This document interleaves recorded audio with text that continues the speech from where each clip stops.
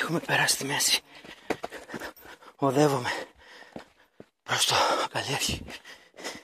Σιγά σιγά έχω μια παρέα παιδιών μπροστά η οποία είναι μια μορφή ασφάλειας. Περπατώ, τρέχω όπως μπορώ. Τα ωραία κόπες κοιτώνται. Είναι δύσκολο, αλλά όχι ακατόρθωτο. Τώρα έχουμε πάλι δασερό. Από κάτω έχει ανυπέρβλητο μορφιά. Το φαράγγι. Και είναι στη μέση.